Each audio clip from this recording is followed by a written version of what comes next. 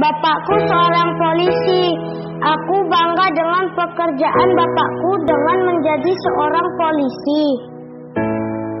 Bagiku, polisi adalah pahlawan.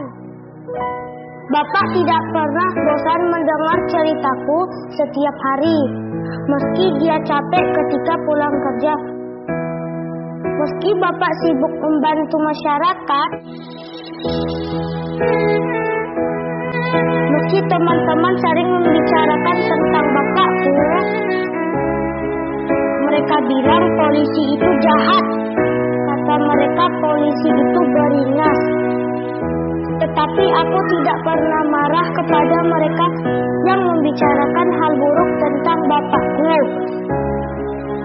Karena aku tahu sekali dengan bapakku. Tetaplah tegar, tetaplah kuat, tetaplah bersemangat dalam